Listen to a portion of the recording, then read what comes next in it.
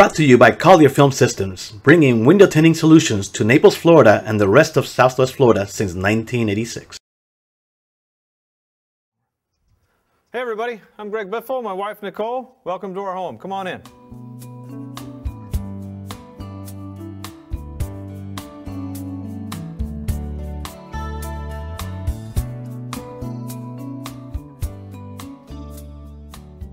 The biggest thing I've noticed since we installed the 3M window film in our home is there's no hot spots in the house. The temperature is more even around the home.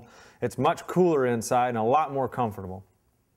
We spent a lot of time searching for the right furniture, window treatments, carpets, and we want to be able to preserve our artwork as well. So this was a big reason why we decided to do the window films. And the HVAC system runs much less now after the window film's been installed and it reflects on the electric bill completely.